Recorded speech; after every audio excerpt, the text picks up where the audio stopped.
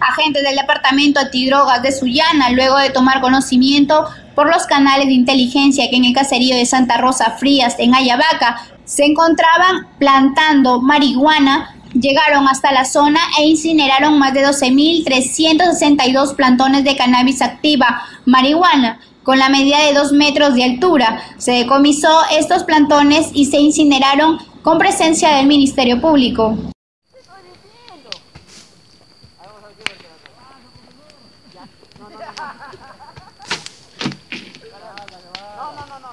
Jefe, ¿a dónde? ¿Allá arriba? La otra no era. ¿Ah? ¿Arriba también? No, ahí todo hay que bajar. Todo hay que bajar.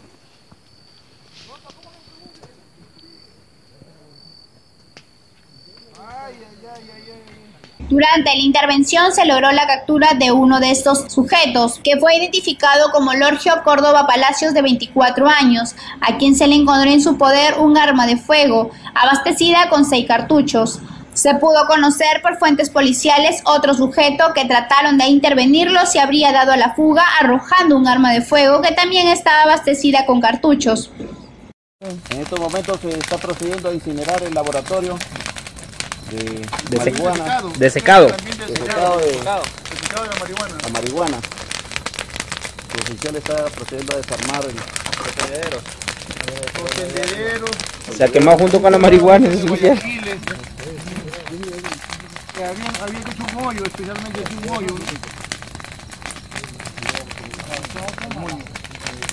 Con la pesita del moño. Así suena. Ah, no, pues eso es lo que revienta. Decía, decía Rey, pero qué, qué, qué manche ni manche, qué cremosa que esa marihuana, decía. Vamos.